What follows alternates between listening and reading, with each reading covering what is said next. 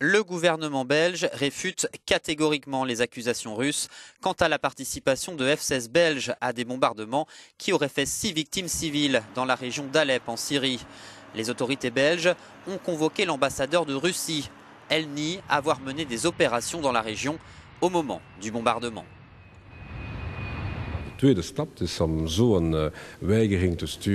La deuxième étape consiste à en informer les représentants militaires russes à Bruxelles via le ministère de la Défense. Mais nous allons aussi contacter l'ambassadeur russe pour clamer haut et fort que nous ne sommes pas d'accord avec cela et même que cela est inacceptable d'affirmer de telles choses sans d'abord nous contacter et sans vérification, affirme Didier Reinders, le ministre belge des Affaires étrangères.